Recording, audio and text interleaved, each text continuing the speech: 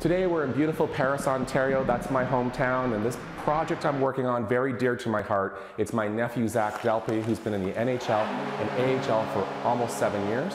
And we're gonna have to figure out how we can come together and make this place look beautiful. This is the living room, dining room area. I gotta do furniture layout, color aesthetics, and Zac, I can't make it look like the Hockey Hall of Fame. Sorry, buddy. We're gonna have to come to some kind of agreement. Okay, so here we are, we're done. You can see there's been a transformation. I'm here with my nephew Zac. And you know, the journey of design is one that you have to investigate and draw from people. What do they like? And he didn't really want to tell me what you liked. You couldn't give me any answers, but you did good because you chose all these things in the kitchen first.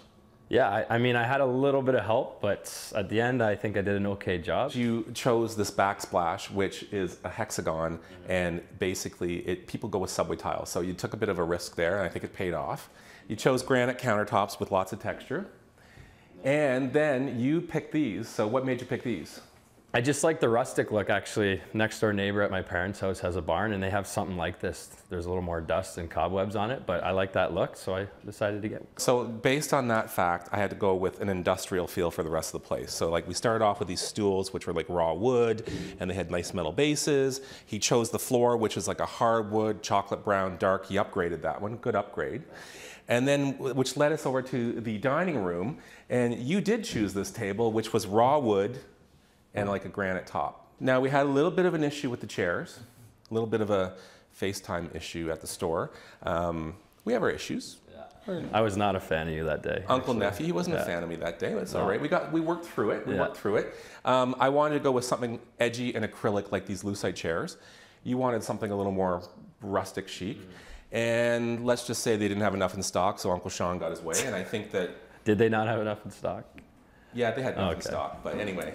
Okay. so this led to the wallpaper, which is a beautiful fake barn board. You liked it. I, I really like it. You really yeah. liked it. And then we put some beautiful family mementos on here. Tell me about what this is. It's my first NHL goal. So January 1st, 2011. Uh, I think I'm 23 in that picture, but I'm acting like I'm 12. So jumping through the air, it was cool. A little bit of a proud uncle. anyway, this is a very important piece. It was a, it was a gift to you. Yeah, a housewarming gift from a friend. But uh, the most important thing, it says LD. That's my mom, Lisa Dalpe, and that was always her family saying. So we thought we'd incorporate it in. Off the dining room is the living area. And one of the things that you had done is you chose some of the furniture. You chose brown leather and you got a brown floor and a brown coffee table.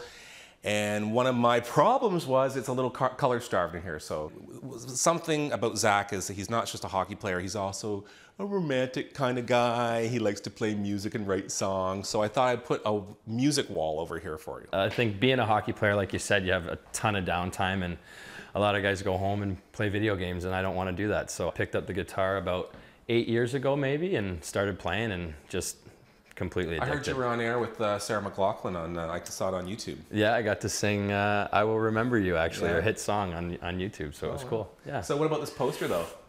This poster is uh, who I think's a god, Dallas Green. He plays in the band City and Colour, and I guess one of my favorite one of my favorite uncles got it for me for one Christmas. of your favorite uncles. Yeah. And did he get the poster for you, or did he get the poster signed? Yeah, it's signed, and uh, I actually went to this concert. Oh, this oh, you did. Particular oh, that's one. Cool. Yeah, that's good. Yeah. Now the thing is, is that I wasn't really looking at the poster, I was looking at the color of the poster because I'm a designer. And I'm like, how am I gonna follow that color through in here? And I did. So you can see there's some gold, there's some white, there's some green, there's some blue.